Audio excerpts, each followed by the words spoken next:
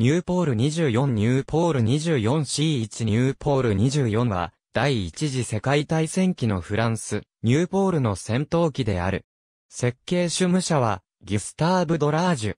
ニューポール24は、成功作であった、ニューポール17の発展型で、機体の特徴は、主翼が一応半であることとそれを支える、V 字型の支柱、曲線的な垂直尾翼である。空気力学的に改善された形態の胴体と丸い、翼端を持ち、ビブは、小さな固定式のヒレと曲線形の方向打を採用していた。オゾリは内部にバネを持ち、それ以前のニューポール機に比べて露出が少なかった。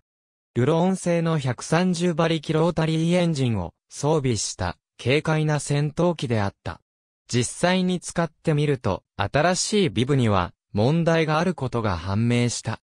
そのため生産型の大部分は、胴体と翼は24のままとし、尾翼とゾリは17のタイプに戻して、方形の方向だとした、ニューポール24ビスとなった。新型のビブは、ニューポール27において実用化された。ニューポール24ビスは、イギリス海軍航空隊のために、イングランドでも生産された。ニューポール17の標準武装は、重量増大を防ぐためそのまま継続され、良好な性能が維持された。ただし高等練習機として使用された24の多くでは武装は取り外された。ニューポール24と24ビスは1917年夏に生産ラインから現れてきた。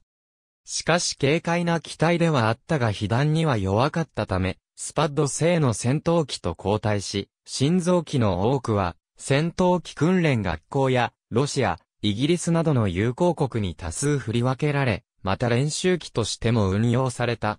イギリスは SE5R 戦闘機が不足していたため、1918年までニューポール機を活用した。フランスでも一部の部隊は1917年終盤までニューポールを使用した。また本機はナンジェッセ等のエースの上機でもあった。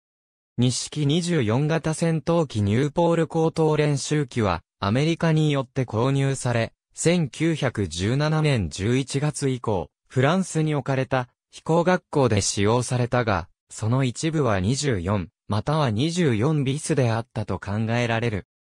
日本では1917年に輸入され、錦24型戦闘機と呼ばれ、フォール教育団での教材となり、さらに陸軍補給部、砲兵交渉、中島飛行機で量産された。1921年には、公式3型戦闘機に名称が改められている。